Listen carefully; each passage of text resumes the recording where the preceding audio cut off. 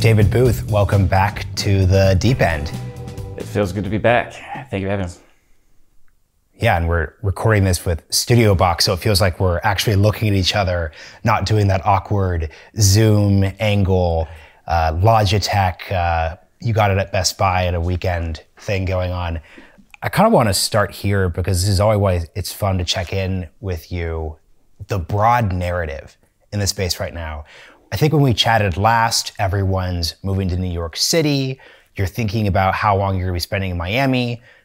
SF is not the conversation. I think you you barely have to peruse Twitter to know, that there's deep interest in coming back to San Francisco. There's a lot of like tweets about San Francisco. Where do you think the discourse is around where the best place to start a company is? You're right to say it's a, a hot topic. Um, everybody was out there, you know, somewhat celebrating, not you know, or, or, or certainly discussing the downfall of San Francisco through the COVID era. You know, the world has changed for good. Companies can be built everywhere, or talent is everywhere. You know, there's some some pieces of that that I, I do genuinely believe, and and one of those is like I think through the COVID era, uh, we learned that companies can be built anywhere. You can start a company anywhere around. Um, but also coming out of that, we learned that people are deeply hungry for personal connection and they want to come together places. They want to build relationships in person. And when you look around and say, well, where are we going to come together? There is this powerful network effect of, you know, just the history of this this area, the the, the raw uh, talent that you know still exists here, the, the company building, starting, scaling, funding experience that still persists here. Um, and it's you know when you look at it through that lens, it feels natural that a lot of the energy is gravitating back here. Uh, in, in, fact, you know, one hot take could be that it was part of COVID that created some of the vacancy, that you know, pushed some of the people out who had maybe made their money, you know, built their families, were ready to move back to the Midwest or move back to you know to, to, to raise their families, and in doing so, they um, create a little bit of space, whether it's the, the commercial vacancy rates or the, or, the, or the rents that certainly took a dip uh, and allowed a new generation of builders to come through. So, um, I mean, man, I've been, I've been coming here uh, probably one or two months a year for the last 10 years, living in different parts of town. Uh, and ever since, I remember that first trip 2013 sort of got off and felt like the sense of am- ambition set in, the sense of like the weight of back home and, and all of the, the, the expected behavior, all of the conventional wisdom that I was raised with lifting off my shoulders and, and the, the idea that I can build anything set in. And today I, I believe that there's something about that energy that still exists. And, and on this last trip, to, you know, I'm in the process of you know, certainly spending a lot more time, a uh, large part of this and, and next year in the area. Um, and the energy is just it's in the air. It's almost you can almost taste it. Um, just a lot of people, uh, a lot of excitement, uh, you know, a lot of enthusiasm, which is sort of that cautious optimism hedged within the the, the greater narrative of of everything bad out you know that's going on as, as well. So really excited to explore some of those threads with you. Hearing you articulate that, David, I want to make this really useful for builders, on deck community members, people who are thinking about joining an on deck program everything you just said, especially the energy being in the air, I know if we went back to, let's say, July 2021, we could say the same thing about going to Miami or showing up somewhere in Brooklyn. As a founder, like as a, as a, as a leader of, of, of an actual company, how do you think folks should sort through the big narrative claims versus like, okay, at a core level, you need to build a company and you can't just be thinking this is the vibe now and that's the vibe now. How do you think through that? Yeah. There's a a, quote I, I, attribute it to Andreas Klinger, one of our friends, early investors, former CTO, once told me that um, in person is for innovation, uh, IRL, yeah, IRL for innovation, URL for iteration. Um, I think that what companies need to balance is to, and you know, people as, as, well as to understand when you are, you know, what are you, what stage are you at? Are you trying to figure it out? do you need to optimize for time in a room with a whiteboard with the people and to, to innovate, to, to figure out how to go from zero to one or, or what one even might be in the first place versus you know where you're going and you need to execute and iterate and you're going to have some sort of you know, fluctuations along the way. Now, the, the balance between those means if you have um, if, if you know what you're building, if you're on the path from you know from one to X and, and you're in the iteration part of that stage, I genuinely believe you can be anywhere. There are opportunities to bring your teams together for offsites, for retreats. Uh, I've seen some phenomenal examples recently of companies that are entirely distributed that'll plan a you know one week leadership team retreat into every month or every you know every quarter.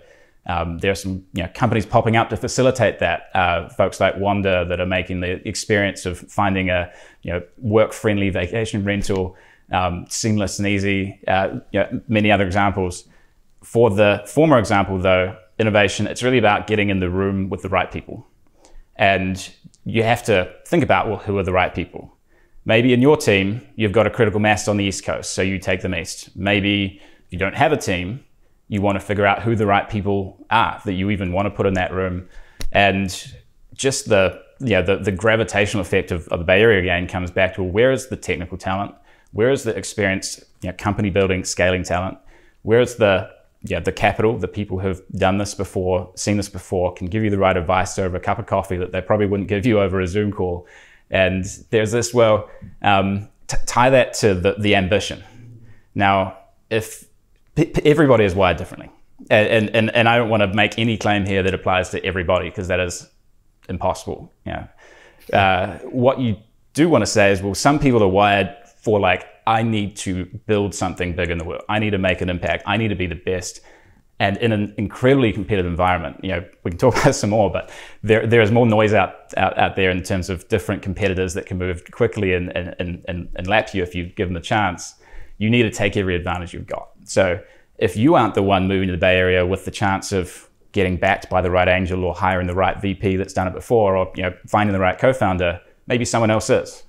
And maybe the company they build is going to you know going to be fast to the prize, you know, fast to the Series A, and in a you know a, a, binary game of of, of asymmetric returns, uh, the power law of return of, of of the startup industry, you know if you're not winning, what are you? Again, with the disclaimer that that mentality doesn't apply to everyone. And if, and if you if you aspire to build, um, you know, a, a, a valuable revenue stream, if you if you aspire to build sort of a, a solid, comp- there, there's many reasons you don't need to move to the Bay. Not saying everyone should, but I think there's something really powerful there that speaks to that strain of, of ambition to change the world that really makes it necessary. You know, I'm just curious before we get into kind of some of the program changes I want to discuss. How have you seen the Bay Area change over the past three years? So, for example, I first came to San Francisco in the startup tech context in 2019. So, right before COVID, and it was incredible. Like we said, the energy, it's amazing to get off of the Uber from SFO. And then all of a sudden, there's all these people in coffee shops, and you're in the middle of all of that obviously for a couple of different reasons that really went away during 2020 2021 so like what was your experience just going through sf during this period i think i mean my experience really closely tracks the the evolution of what we've been doing as as on deck uh, if i if i look back to the very very early days you know pre company pre anything at all on deck was a community it was a community run by volunteers like myself Erik Torenberg founded it 2016 when he was leaving Product Hunt, asking himself the question of like, what am I going to do next? I might start a company, I might start a fund. Where like where do I find my people? Where do I find everybody else that's thinking like this? So he you know, put the tweet out, put the Product Hunt launch out, had thousands of applications, and started running these dinners for you know, maybe 15, 20, 25 people. Get them in the room together, set the ground rules. You know, this is a sacred space. It's confidential. It's you know a place to open up and be vulnerable about leaving your job and all of the fears that you have for doing so, about the ambitions of where you want to go, and is it the right? You know, do I have conviction that this is the right solution to that problem? Um, so I attended one of those dinners, and I, I, loved it. I, I had you know such good time that I, I, told Erik I'd love to run these for you in London. Um, I did, yeah, I did 15 or so over the course of 2016 through 19. Uh, there were people running them in New York and Tel Aviv and Austin and Boston and about 23 cities around the world. Um, but purely sort of a, a community play. Now, as that momentum grew, it kind of tracked what I see is like the build up in, in energy across the tech industry from again 2016 through 1920.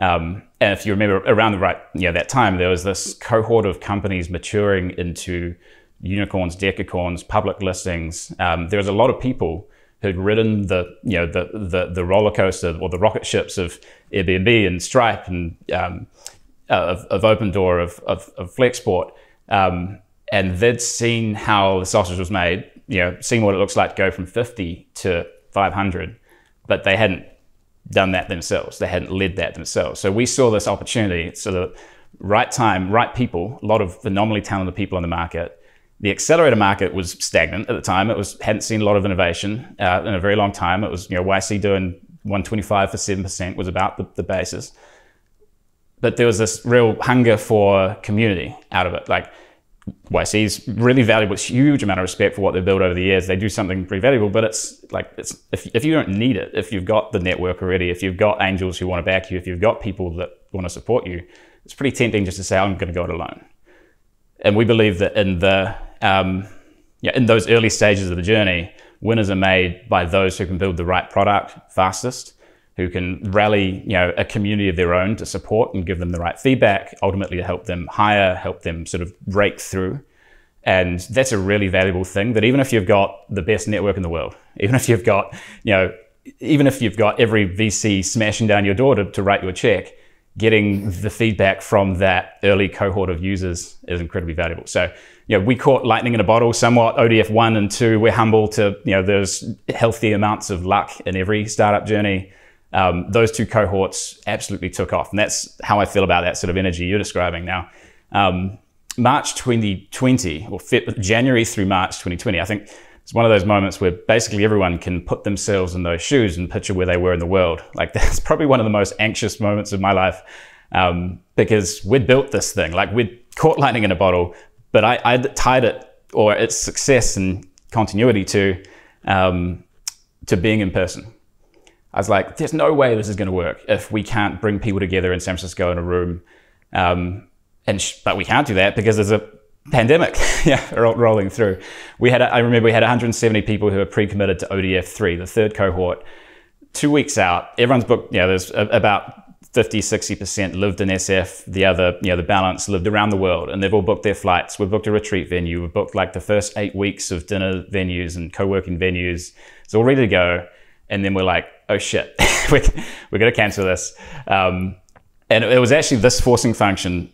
Yeah, it was the, it was the, the, the, the desperation as a motivator that we threw everything we had into making sure that those people who were sort of recently locked down, sheltering in place around the world, some of them just down the road from each other, but like a different universe away, had the best experience you could imagine. They they were like immersed within a really supportive community, which was this professional social outlet for founders that maybe just, just quit their job before the world was pulled out from under their feet. Um, and and it was actually I, I attribute sort of a, a, couple of moments during and after the ODF three onboarding um, extravaganza, the you know three hour Zoom call that people used to say was the best Zoom call of their lives, um, as the moment that I was like, wow, this could actually work. So know, we the channeling the energy and this again roughly tracking the industry. If I if I timestamp you know ODF four, we announced around the same time as Marc Andreessen's Time to Build. Yeah, it was like the world is crumbling around us. Technology is saving us because Zoom and you know, telehealth and everything had to really step into this void. Um, people were looking at the solutions they used to use and say, well, that's kind of broken. you know, people were looking at the companies they work for, and if they if they hadn't been laid off, you know, many many had been laid off, and so were forced into this situation. Others were like, I don't know if this company works anymore. You know, is this really for me? Should I should I take this opportunity to to leave and build something new? and it was um, sort of the growth of that momentum. You know, ODF4 had thousands of applications to it. It was, it was, a wild sort of validation moment for us. It was uh, someone told me people are lucky to catch lightning in a bottle once. We did it twice because that was that that was the second moment, um, and the, the, the cliches from that day. Everyone's saying, "Well, OnDeck is everywhere," and people are tweeting about it, and and the you know it was this moment of shared vulnerability. We're all sheltering in place, and I found an outlet. I found something that I can really resonate with. As the as the story goes on, um, there is sort of this huge growth and momentum that came into 2021. Everything is up and to the right. And then 2022, and everything is feeling a bit rocky. And 2023 feels like this phoenix rising from the ashes moment again.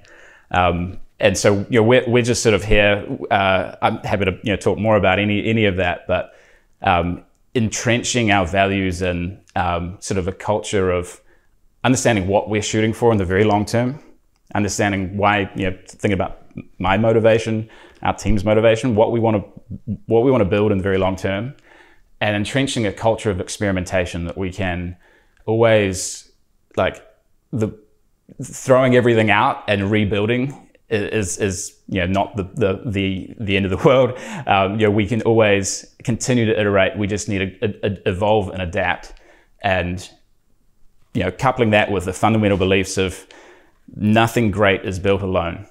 You know you always need to surround yourself with others. You know curated cohort of talented peers who are going through that journey with you, no matter what the you know the economic environment, no matter what the you know, the the the the, um, the journey you're going through, there's there's value in that. So so this is you know, sticking to our core values. No, and I think uh, I'm happy you gave the answer that way because I think any founder, any creator type like myself is trying to place themselves at some point in this narrative and how they've shifted, how they've think, thought about things in different categories. So I think this is a good time for you to talk about like the big change that OnDeck is making because we're talking about IRL, we're talking about San Francisco for a reason. We're kind of going back to, I think, a lot of where things were in 2020, at least, you know, from a values and discourse perspective. So let's uh, understand how OnDeck is changing. Yeah. Well, one one way to look at it is, you know, a lot of what we used to do we're, we're returning to. Um, I, I, think that doesn't quite do justice to the journey of the last couple of years because we've learned so much about how people start companies, about how people meet co-founders, how you know, make their first hires, how they validate, build conviction, how they get to that first round, how they rally the support of communities, customers. Um, and it's, I, in my opinion, it's actually the forcing function of having to do all of that virtually from like d- distributed first principles um, that makes this opportunity possible. So I don't say we're, we're not going you know, back to what we used to do. I say we're basically combining four years of of running ODF and eight years of, of OnDeck and you know the dinner series before that into what we believe is the product or it's the experience, it's the it's the journey that people need in 2023. Um, it's come from this great conviction. I mentioned like nothing great is built alone. What's required today more than ever to build a category defining startup is an early community of believers at a time when belief is at all time low. It's really easy to be a cynic. It's really easy to be like the armchair spectator, but having the, you know, the, the, the courage to get in the arena and know that there's others in there with you can make or break that journey. You know, as well as help you obviously very tactical get to product market fit, you know, get your first hires, that kind of thing. So the world in 2023 is very different to the, the 2019 that we left, you know, before the pandemic. Um, it was still an up and to the right market at that point. You know, there is a lot of a lot of uh, tourists may not be the best, you know, gratifying term for it, but a lot of lot of people flooding into the ecosystem because startups at the time were sort of on trend. It was buzzy. It was so, you know it was social status to be uh, you know funded. Um, it, there was a lot of like um, uh, a, a, lot a lot which has changed now, and I should I'd love to speak about this more because it's something I, I really you know passionately care about. But I, you know the, the the the energy that we have or the energy that we we want to channel is this one of um, the in it, uh, the, the, the the technology opportunity available to us. I mean, we're we're on the edge of a revolution, AI and computing and energy and material science and aerospace, and you know a lot of those things require deep ex- expertise. The expertise for which is often you know in this or in the sort of the SF or New York areas. Um, you could say that like the um, the, the talent density and specifically actually, there's a really good reference here. Um, so the Slow Ventures team recently put out a blog that was a really balanced approach to this. Um, the, the idea that uh, is now really the best time to start a company. Well, well, actually, will bad times create strong founders, and you don't start a company today unless you are really dedicated, really committed to that mission. And it's those strong founders who create good times. 2019 was good times, and there was a lot of people coming for the wrong reasons. Now I believe it's going to be really hard. you know, almost everybody agrees it's a perilous time to be investing, and a founder is making a very under, undiversified investment. They're like investing everything they have in this one thing. Um, but yeah, the the risks are harder, uh, but so are the potential rewards. And if you're somebody who can you know break the ice and prove that the thing that you're here for is worth being here for, then you will be able to attract some of the best talent available in, in a decade. You know, people who have been disillusioned with or kicked out of the big tech companies. Some of those big tech companies are like focusing on their core, frankly, boring businesses and sort of shedding a lot of the more interesting R&D opportunities. Um, I've heard of so many people that have been laid off or disillusioned with you know the, the the innovative experimental projects that they were doing at the Amazons and Googles and Facebooks of, of the world, um, and now they're you know re- reasonably well off through a severance package or through having worked in big tech for five or ten years and saying, well, should I rush back into the market or should I just like finally dig that old side project out, that passion, that nights and weekends you know experiment that I've been entertaining for a while and if I do that, then like, what do I do next? you know, you talk about people who are, who, are, who are experienced, they know how to build, but they might not have ever been a founder before themselves, or maybe they have, but times have changed and they need to refresh their network, or maybe they um, they they've done all of those things, but the the customer base that they need isn't sort of native to their network. So there's this like cross pollination you know, opportunity going on. Um, so the yeah, the the the, the punchline. I think why now there is there is sort of a different opportunity costs today to assess the the if you have the grit, the resilience to try and build a company, it is the best time to build a company. If you don't, it's a really bad time to start to try and build a company. And helping people figure out which is which is one of the you know one of the the, the missions that, that I'm on is I do believe that we need more founders. I do believe that lots of people that don't currently consider themselves like, you know, founder mentality could be. Um, I do believe there's a lot of deeply talented, deeply, deeply technical, you know, people or you know, people with industry expertise, um, you know, spanning decades of career, who possibly never even considered starting a company and they could make some of the best founders. And, and the ODF experience is designed for them just to dip their toe in the water, but do so in a way that brings some accountability to themselves, brings some sort of network density, refresh their network, brings a lot of the the, the energy and the and the you know let's do this now type energy. You know, so many things I want to follow up on, but number one, I'm really interested in your point around grit and resilience, and some people have it, some people don't. That's one of those things you could sort through. To what degree do you think a company or even a leader such as yourself can help prospective founders be more resilient? Because I don't want to just act as if, you know, we're born with it or you're not born with it. And, you know, if you were passing the marshmallow test when you were seven, you're just going to crush being a founder. If not, like it's too big tech yeah. for you. How do you think about how OnDeck could play a role in helping people who just have everything they need? They just need that little bit of you can do this or I can do this during a period like now. Yeah. I love the question.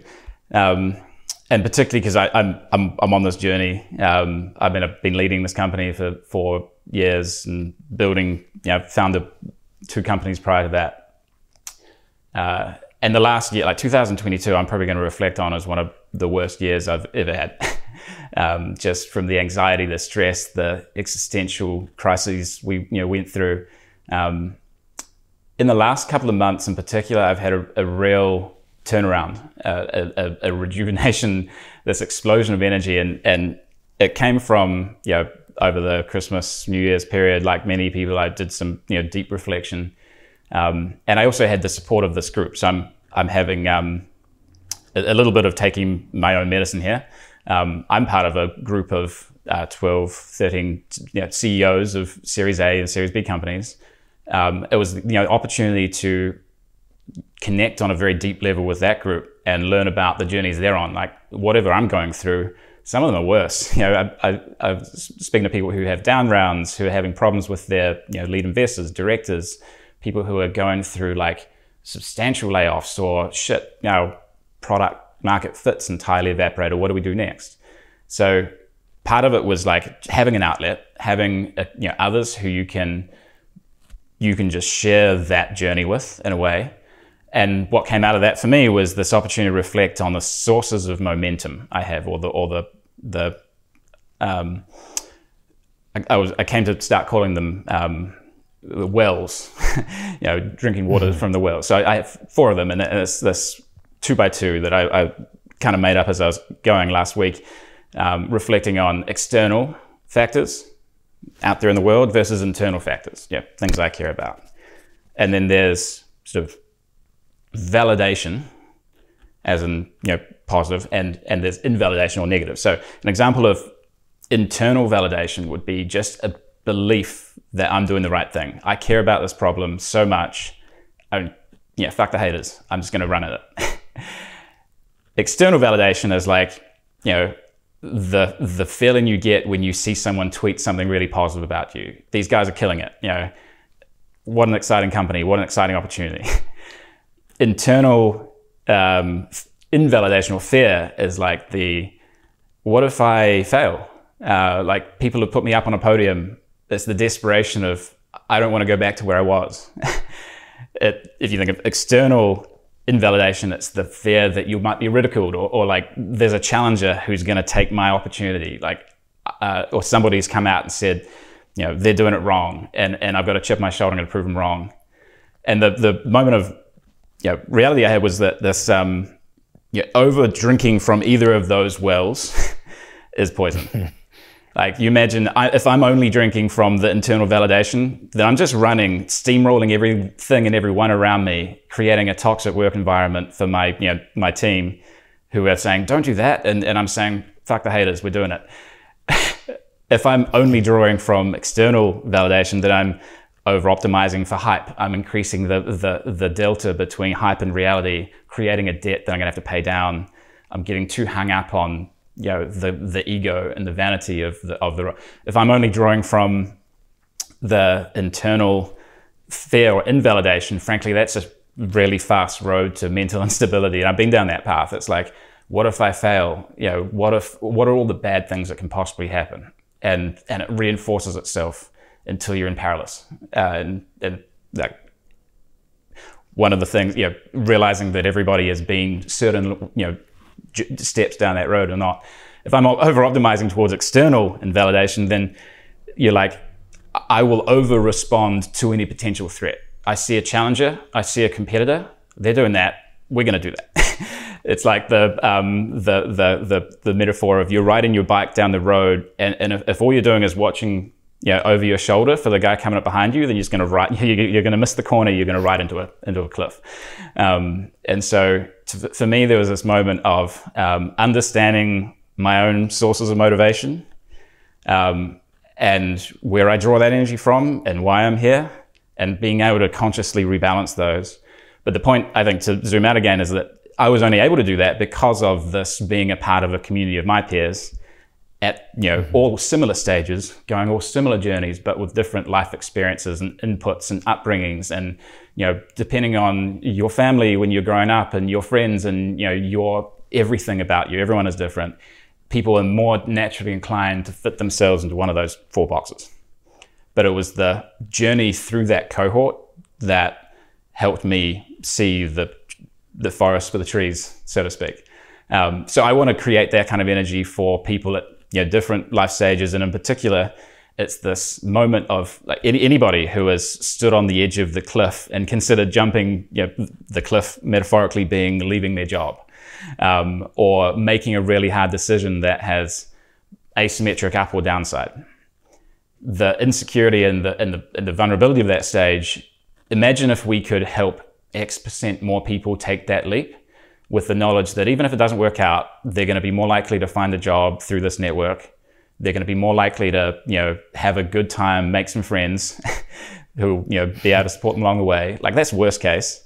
And best case is that you find someone to co-found the company with, or you, you, you get the feedback that allows you to pivot to build the thing that's going to be the breakout opportunity that's going to make, you know, change your financial you know, economic outcome for generations to come, these are pretty impactful moments. If we want to make a dent on the world, imagine just doing that for a handful of people every year.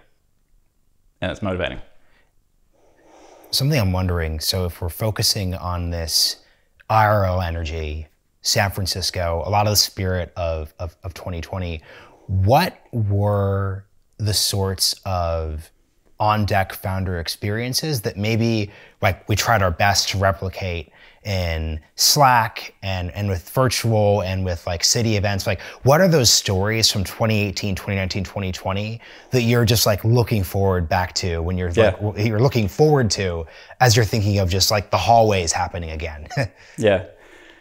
There was, um, frankly, I, I, have very fond memories of the the experimentation we did in 2020, 2021 of trying to recreate the offline magic. We had, as you know, an example, pre-pandemic, there was always a kickoff retreat. And to get to the kickoff retreat, people would carpool together and we'd organize carpools and we'd match people based on who we thought they'd be you know, interested in meeting first. But we wouldn't tell them that. We'd just say, hey, random assortment, here's your carpools. And they'd hop in and they'd drive together for two or three hours. We gave them a few prompts. We said, you know, make sure you, you know, you, you like you dig in to break the ice to go into these directions. Um, and then when they got to the destination, we'd like randomly call on some people and say, hey, you know, Marshall, introduce someone from your car. Why, why are they interesting?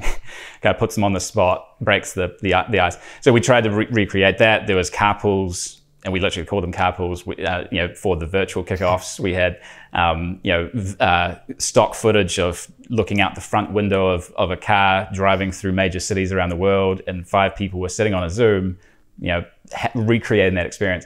Um, the hallways are another one. You know, making sure that when you have um, you know a, a, a, group coming together, let's say it's 30, 40, 50, 100 people, having Zoom rooms that you can create. You know, break the 20 minute um, you know conversation to drop out into 10 minute breakout Zoom rooms and back in again. Um, so as I come back into this next phase, I mean, it's worth sort of directly talking about this. Um, we are returning to the kickoff retreat. So ODF 17, the one we're announcing, you know, today in recording this, uh, but by the time anybody listens to this, we you know, a couple days ago, um, ODF 17 is kicking off with a with a, a, retreat in person in San Francisco. It's engineered in the same way to help you build relationships with, you know, ideally sort of a light touch um, relationship with 100 people, and also like a deep relationship with five to 10 people who can be your nodes into that greater network. Um, we're also hosting a lot of uh, also, and so over the course of that, uh, the the second weekend and after that retreat, um, there's four weeks of in person and and virtual programming. Like we heavily recommend people try to get there if they can. If they can't, that's not a problem because you know everybody has their own life circumstances and, and requirements. Um, and so, you know, a lot of stuff will be live streamed, and there will still be a lot of like standalone virtual programming. But heavily recommend people come but it's a thoughtful menu of events. It's like you know, co-founder dating, co-working, pitch feedback, curated. You know, inviting a lot of our uh, VC firm friends to come in and host a conversation and a dinner. Um, you know, inviting uh, many of our early alumni who have gone on to build successful companies to you know reflect on their journeys. Um, a, a, lot of opportunities, frankly, just to have the the offline real talk that has been missing. Um, so looking to you know, balance those. In order to do so, uh, this is a really exciting update for me in particular. We're, opening up a, a, a community space. Um, we're, we're locking in a few different options, and so we'll hopefully be able to share specifics soon, but optimizing towards sort of big warehouse style, you know, remix the format. There's sort of a, a couple of small seating areas, a couple of long co-working tables, a couple of like how do you optimize towards creative collisions? How do you create the expectation that you come into the space with an open mind to meet people? You're not going to do deep work here. You're going to come in because you want to, you know, maximize the serendipity in your life. Um, so I'm really excited to share more about that. Um, we you know, think about the the walking the line of we're not going back to IRL only.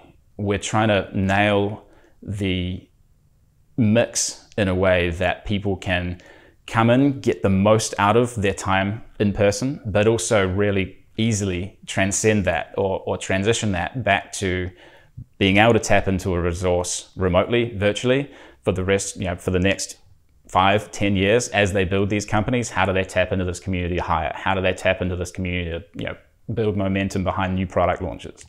Everything else that comes with it. So, um, you know, as On Deck always says, we're going to continue experimenting with and you know, uh, iterating on different experiments as we go. But really excited for the next couple of years of, of this this chapter. Could you speak to how the virtual side of On Deck will work then? So if like the, you know, the, the program's been virtual for almost the past three years, like what is that going to look like, especially with cohorts moving forward?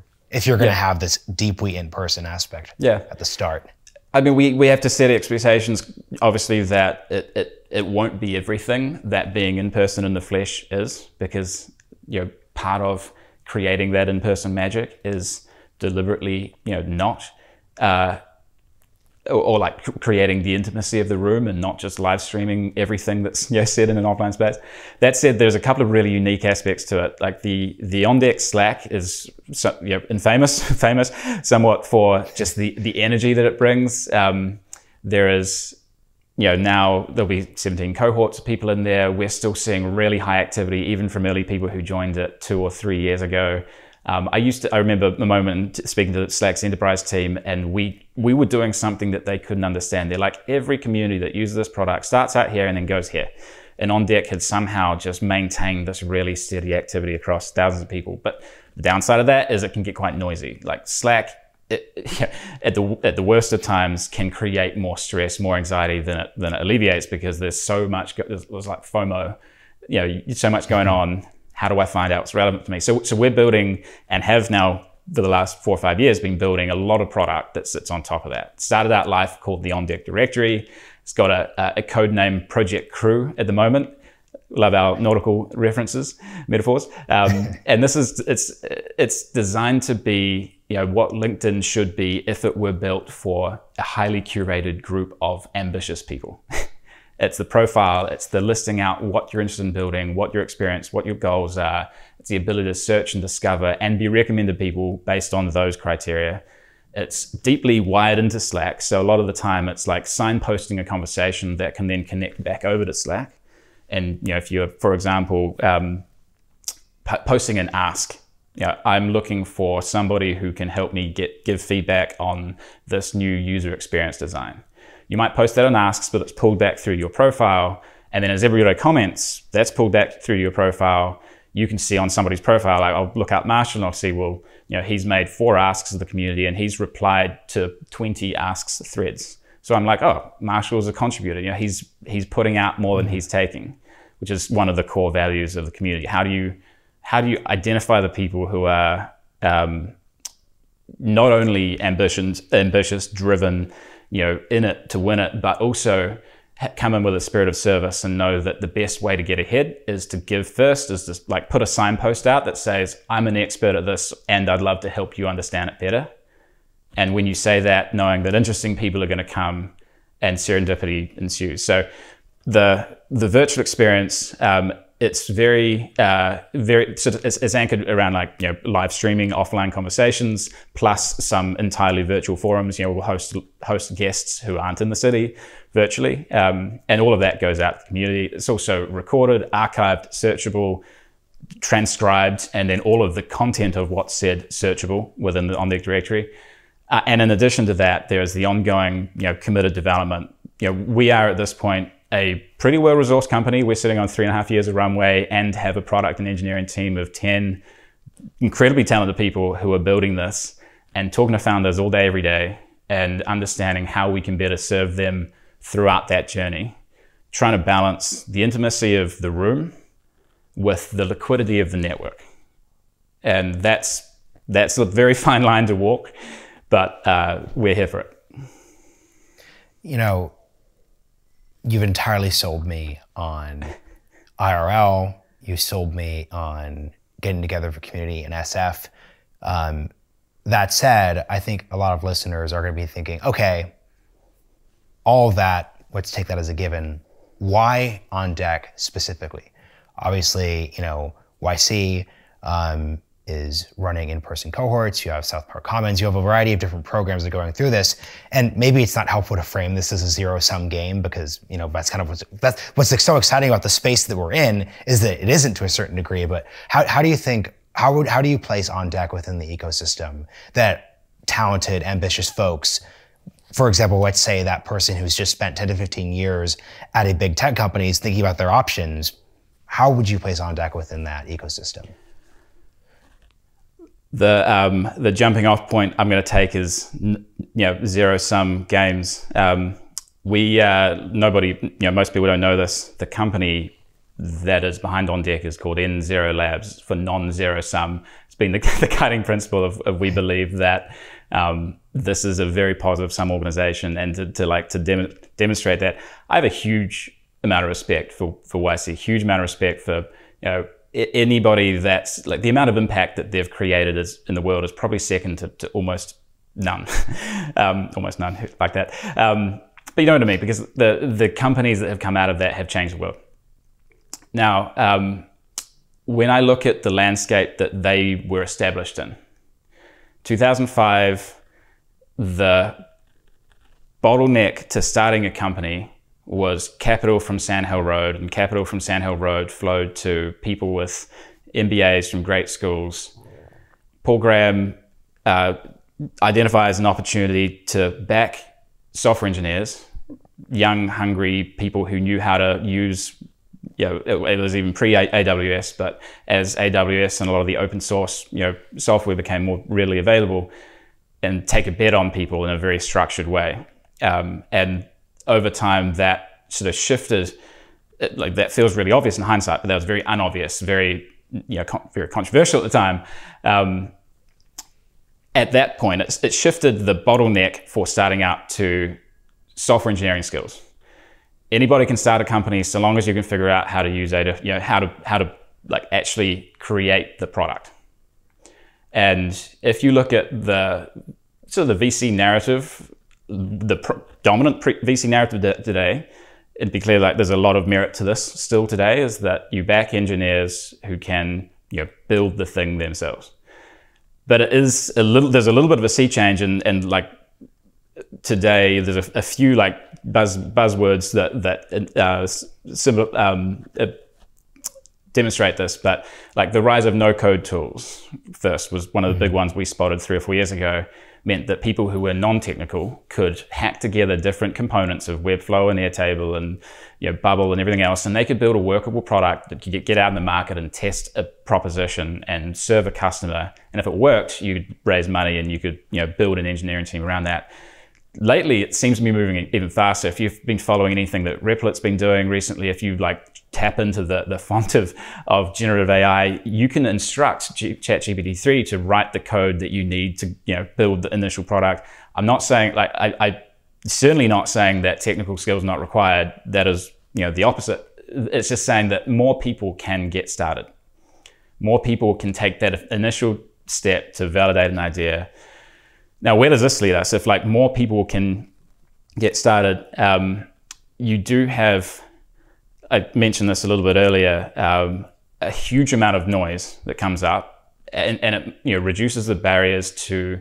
If you have a good idea, then somebody else might you know catch up with you a lot quicker.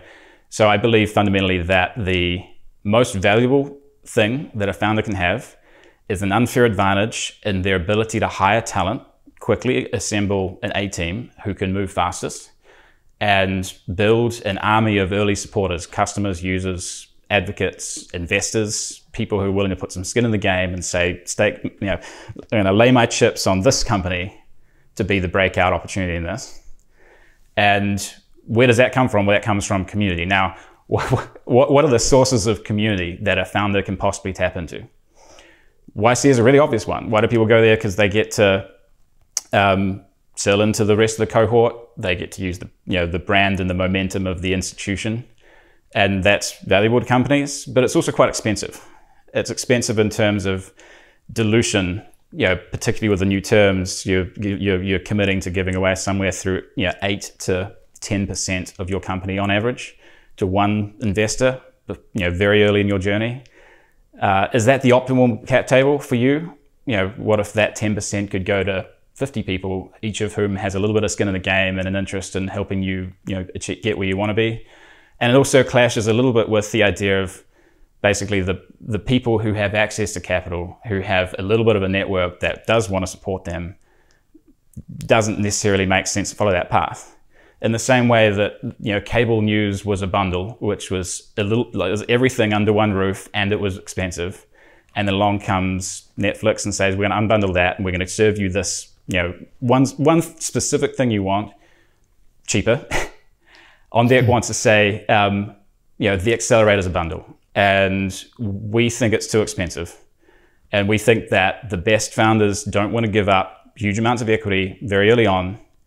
So we say, join on deck. It's non-dilutive. It's, you know, there is no specific equity requirement that you must give to join. And you know that it's a community, very high caliber community of your peers who will be you know, able to provide you that support, that feedback, maybe join you, maybe refer a friend to join you help you get that breakout momentum to be one of the companies that can actually make it out of that, yeah, make it out of the, um, out of the, off the starting blocks and even get in the race. And um, we do also invest. Uh, so there's a really important distinction here because um, when you join on deck, we have a community fund, which is backed by a lot of community members. We're very upfront about like you are joining a community. You don't have to give up. You don't have to let us invest, but we really hope you want us to. And you know, when we do, um, we so one there's a small fee associated with joining the program in the first place. It covers the cost of the retreat, covers the, the workspace, the basic. You're purchasing a premium product when you join on deck. But if we invest in you, we give that back. We refund you entirely. Um, we also have a you know, a couple of different options. Like we would love to help you develop your pitch introduce you to angels who you know will be experienced in helping craft and target a specific audience or t- target a specific type of investor. Um, we're also uh, would love to you know, see companies that are success, you know, having some success in, in, raising their rounds, and just to come come along for the ride with the knowledge that.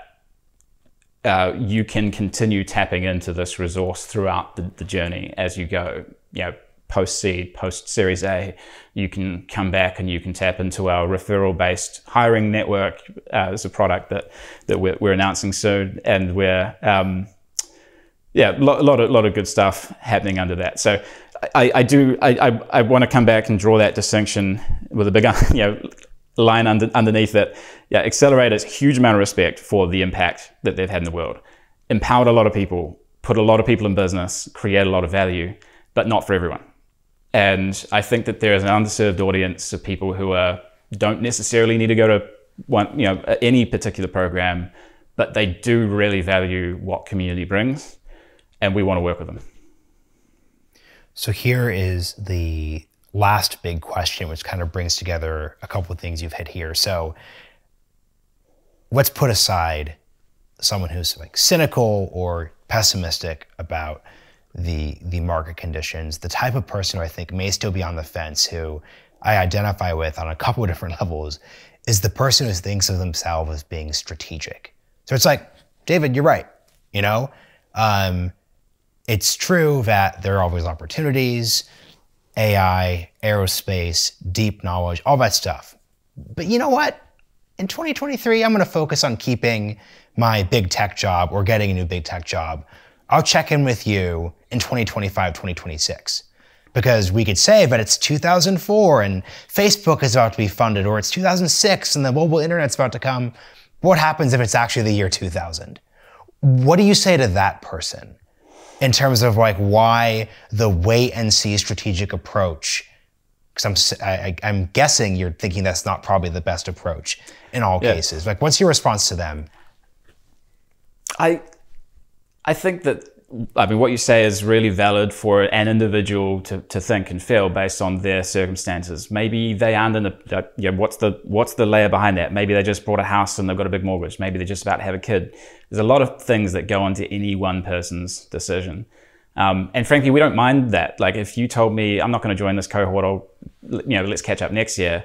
Like we, in fact, the last check we wrote out of the On Deck Community Fund was was a guy who was an ODF one and he's at Tesla and he's wow. had a phenomenal run at Tesla. And he's like, I, I joined this because I thought I might start a company, but I'm not quite ready yet because I've got a lot of responsibility and a lot of upside. So I'm just going to stick it out and, you know, in the process now of, of getting that journey underway two years later. And, you know, that community has been a resource throughout that journey, but now is the time to take the leap. Um, similarly, uh, I had a, you know, we, I hosted a dinner here in San Francisco a couple nights ago. There was a, a fantastic, you know, um, person along that who I'd love to back. and I was, I was, I was, uh, so he's working in a robotics division of a, of a big tech company. And he said, well, I do want to build this thing, but there's an opportunity now, you know, project I want to build at work. And if it works, it's going to be great. And so I'm just going to like at least see where that road goes. And I said, yes, you should do that because if that, that, that is the way that you can have the most impact in the world. And by the way, if that ever changes, if it doesn't work or if it works and then you decide to move on again, you know where to come. So we're in a very long term game with very long term people. Um, we do have, I mean, there's 70, 65 something thousand people have applied to be a part of an ODF cohort historically. So we have a huge amount of information and we love seeing you know, conversations we've had in the past coming all the way back. That's one piece. So make you feel better about that. On the other hand, I'd say, well, what is stopping you? Uh, like you clearly look like someone who really wants to make something happen in the world. Like, do you have do you have a feeling that you need to collect more badges? You need to be better. You need to have done more before you start. Like, are you optimizing to staying here because you, you know, you don't think that you're good enough yet? because that's not true, right? Great founders can come from anywhere. I want to hear about what's driving you under the surface. And actually, um, the opportunity cost of trying now is a lot lower than people think. Like, you know, I hear people, you know, imagine having this conversation with yourself. Oh, what if I start something and it doesn't work? And everyone will laugh at me and everyone will think I'm a failure. And that's just not true. you know, or if it is true, then you're friends with the wrong people.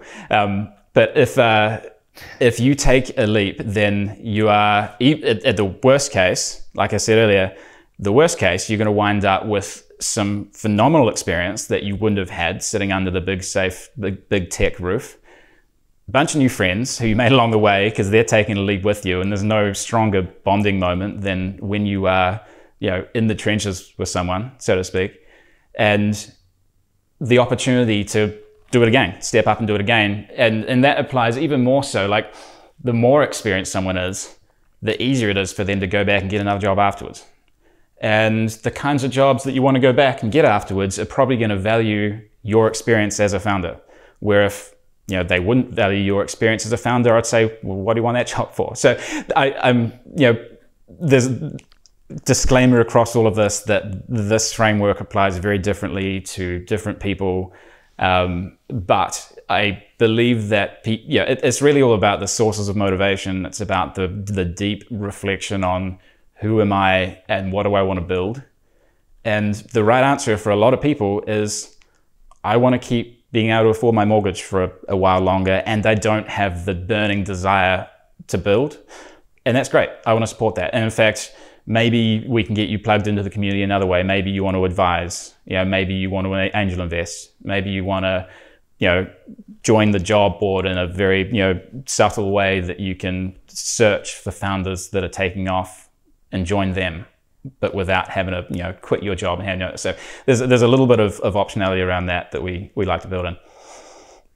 Yeah, I think that's really well said, especially just the obvious in retrospect advice that you should just circle back to your North Star of what's driving you. And that could be a couple of different answers. So, David, this has been really excellent. Obviously, this is coming out after the ODF 17 announcement. So, where should folks go to learn more?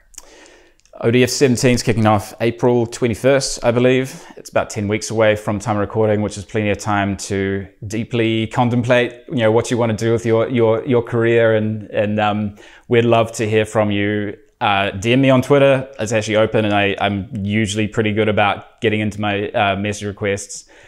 David at beondeck.com um, for an email if that's easier.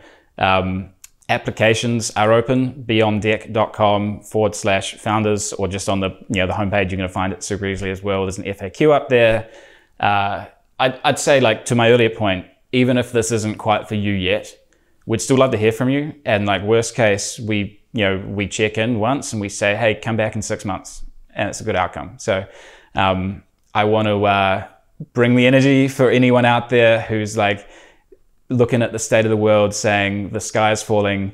You know, we're all in for a rough ride. I don't want to sugarcoat that, but um, there is a lot of energy, there's a lot of enthusiasm, there's a lot of opportunity, and I want everyone to be able to step up and, and take it. So, thank you for taking the time, man. It's been fun.